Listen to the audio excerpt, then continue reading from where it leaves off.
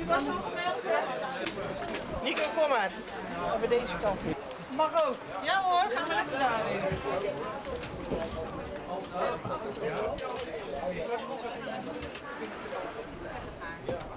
Hallo.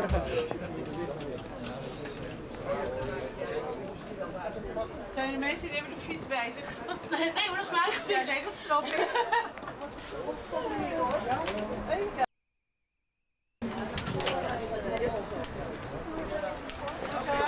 Ja?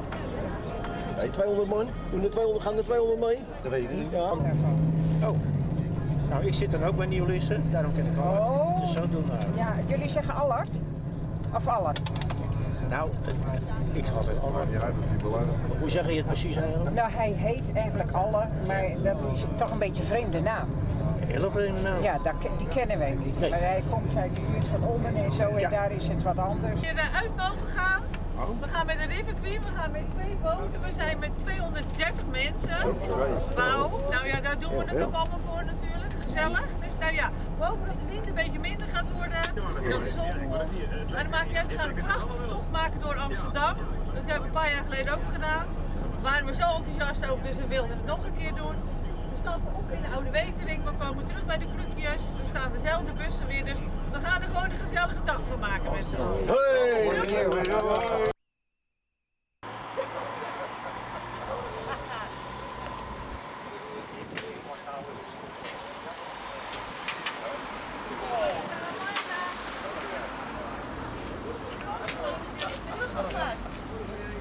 Iemand even lachen.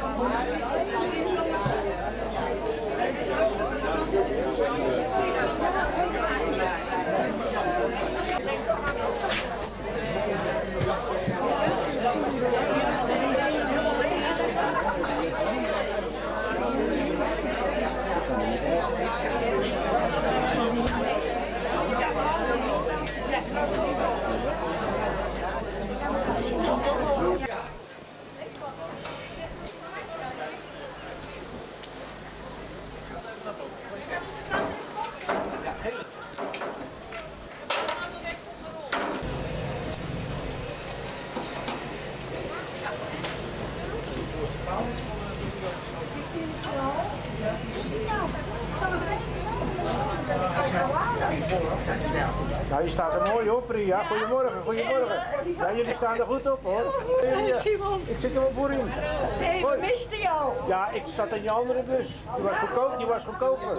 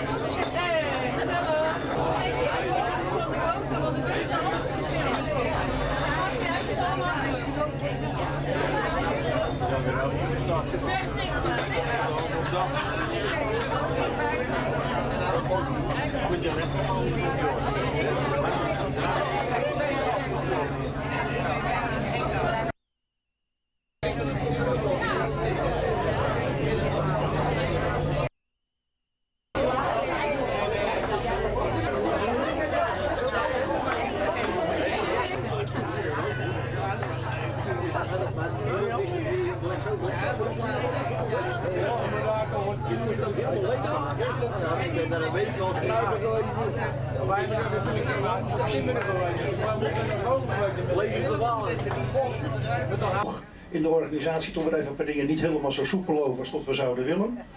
Maar desondanks, eh, we zijn aan boord. Eh, we hebben een hele dag mooi weer. dat hebben we ook maar besteld. En deze keer wordt het ook nog geleverd. Dat heb je als je twee jaar eh, niet met elkaar weg kan.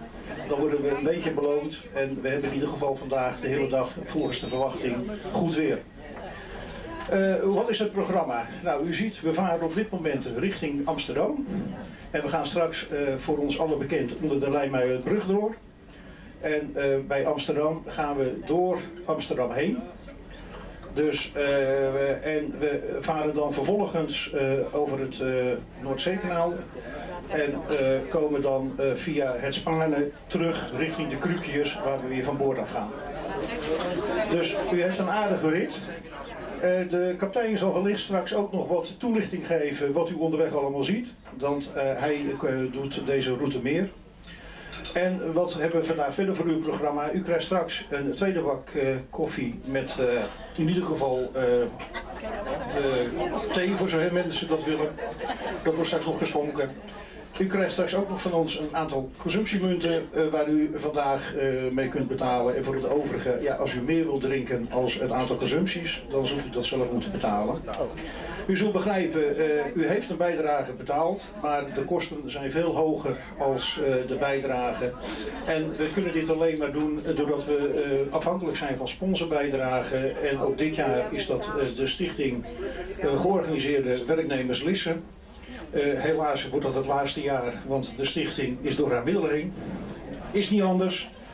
Maar we zijn terug op zoek naar een, eh, ook een nieuwe sponsor. En het wordt mogelijk gemaakt door de Stichting Voorheen Coöperatie Onderling Belang. Maar ik hoop dat u in ieder geval vandaag een eh, hele prettige dag heeft. En tot u, nou ja, als er wat is, kunt u zich melden bij een van de mensen die, van de organisatie.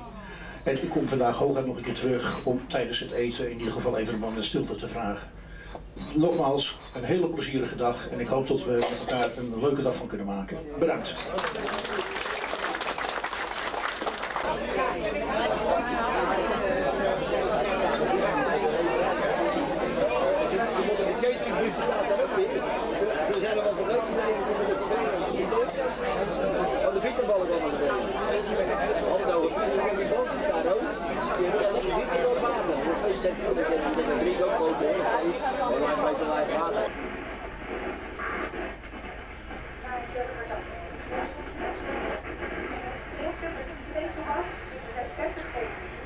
Ja.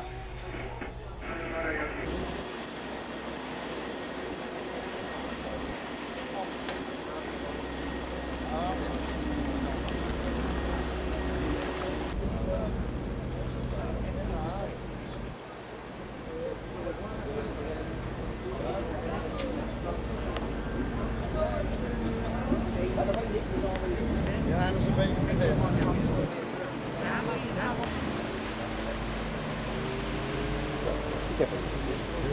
Oh, die al aardig uithouden, jongens. Heerlijk. Het is je beter als binnen. Het is vijf, s'avonds 11 uur, gebruik maken van deze bruggen.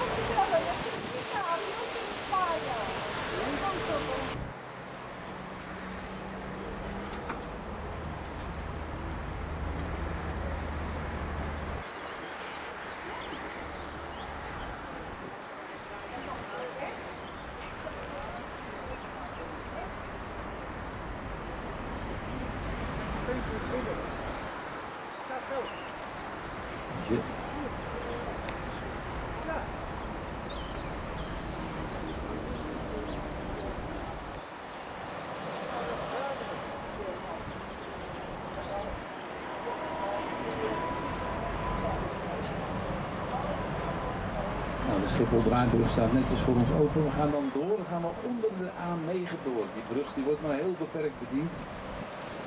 Dus eh die achter met een lange mast die moet hier echt wachten. als we onder de brug doorvaren, dan zult u ervaren hoe zo'n brug constant in beweging is. Als er een zware vrachtwagen overheen rijdt, dan drukt en dan dendert alles.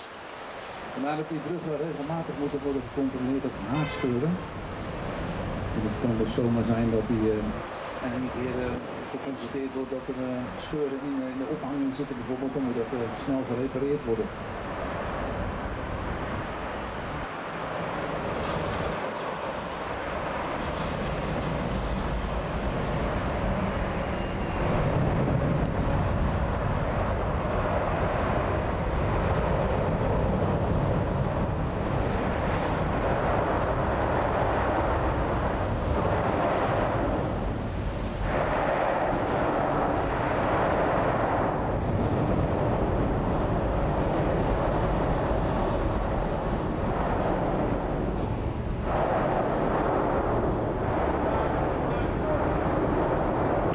kost allemaal veel geld. Dus hij dacht dat de onderweg hier naartoe.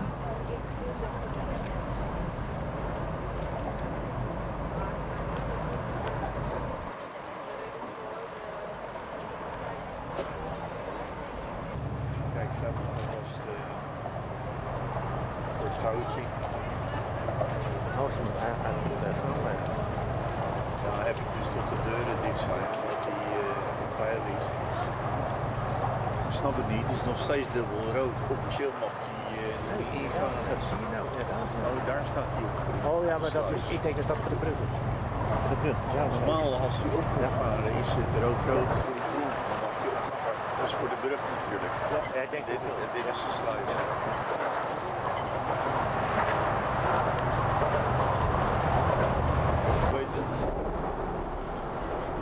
Met die open dag van, uh, was een uitvoering toen jullie over, die had uh,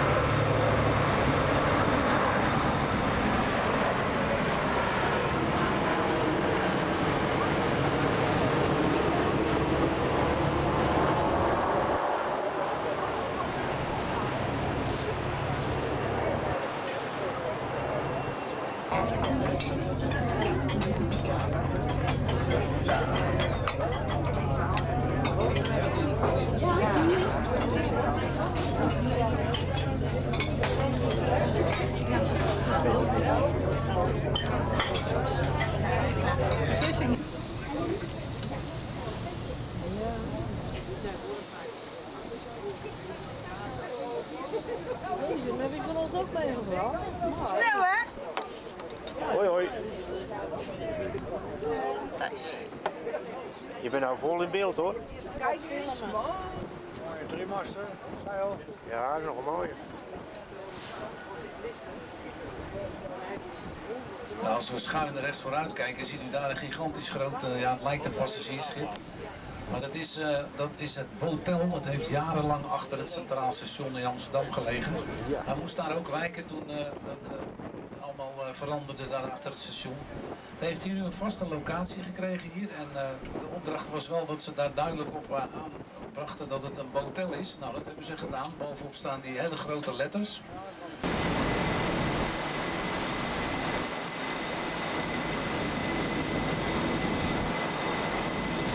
Ik wil even een leuke achtergrond hebben. Nee, ga jij maar filmen.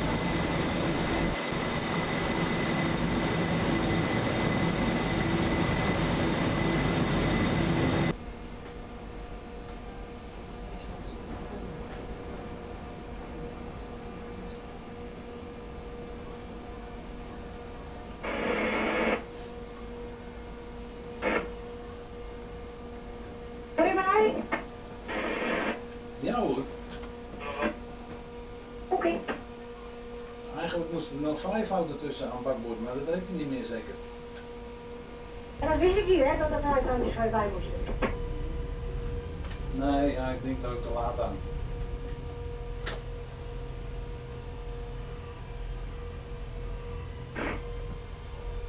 Een, een muur die er in het water ligt. Ja. Moet die drempel dan nog naar beneden?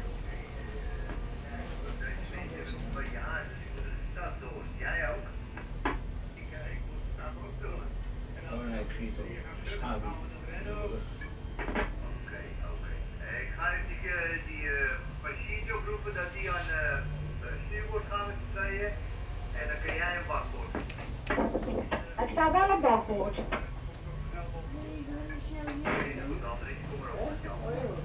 Eh, passagiertjes, jullie alle twee het stuurboord afmeren. Ja, ik heb het uh, gekregen, meegekregen van het stuurboord liggen. Maar ja, het is veranderd. We moeten aan het stuurboord vastmaken. Ja.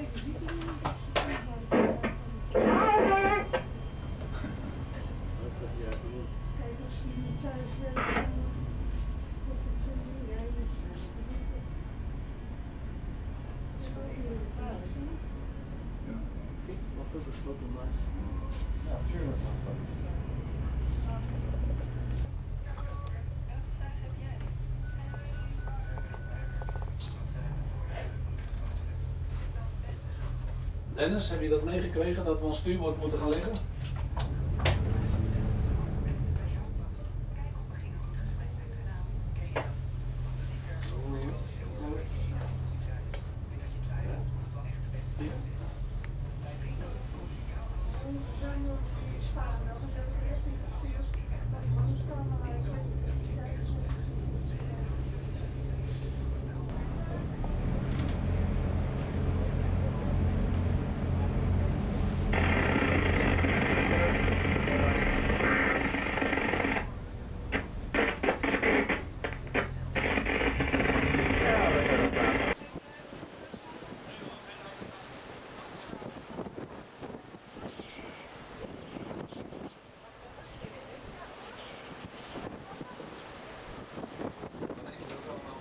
Dat schutten noemen. Hebben nog een beetje gerond eh, door de sluis. Een aardig vast in de sluis. En dan stuurt dat water nog heen en weer. Ondertussen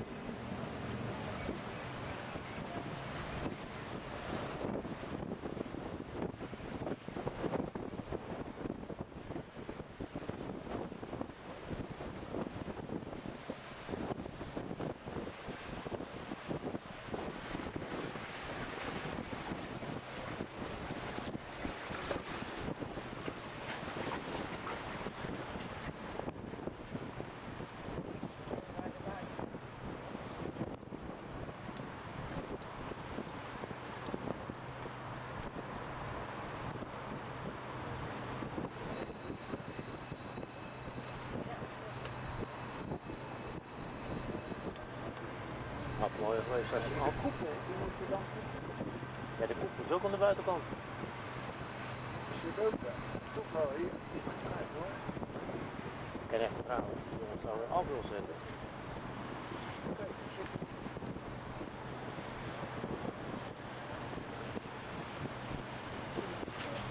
Nou, hier aan de linkerkant stonden vroeger ook allemaal pakhuizen en dat eh, heeft plaatsgemaakt voor, eh, voor woningbouw. Als u er tussendoor kijkt, ziet u nu de koepelbaaiers eh, vroeger. Ja. Nou, en als eh, welkom staan ze in Haarlem met de molen voor ons te draaien.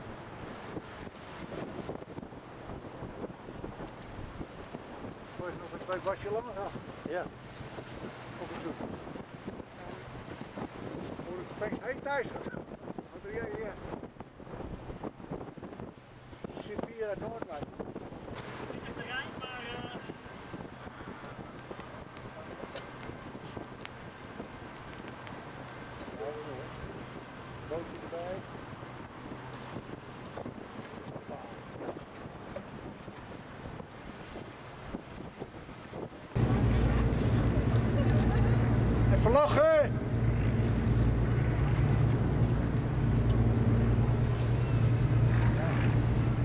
Ze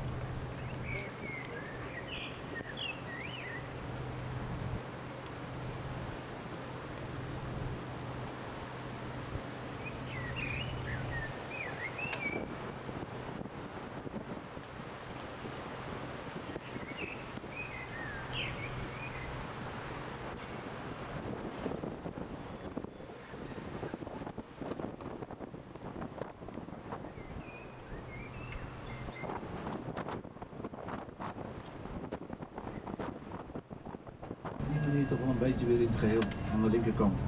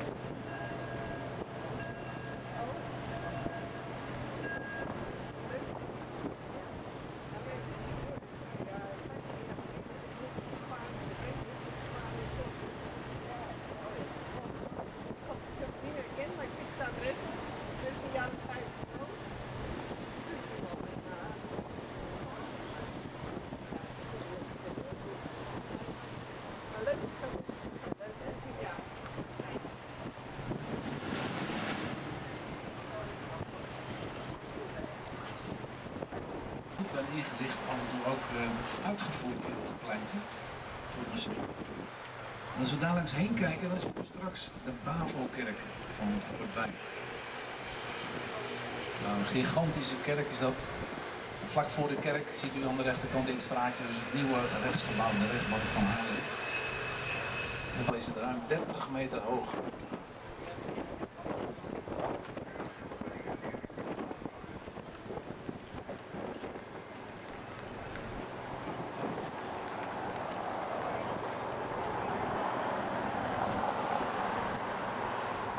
Dat eh, orgel, dat is eh, in de tijd toen...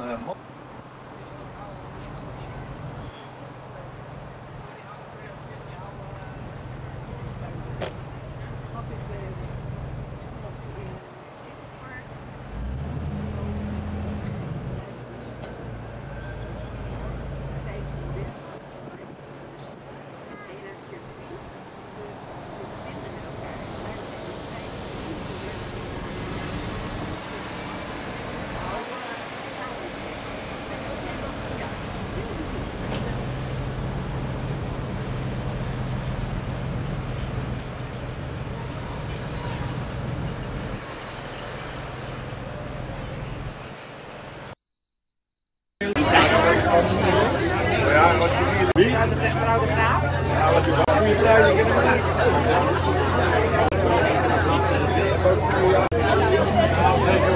Mo- beter dan vroeger.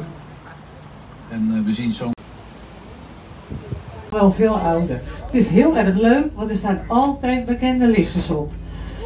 Eh, ook op mijn YouTube kanaal, oud, oude films Lisse, staan heel veel filmpjes op van Lisse.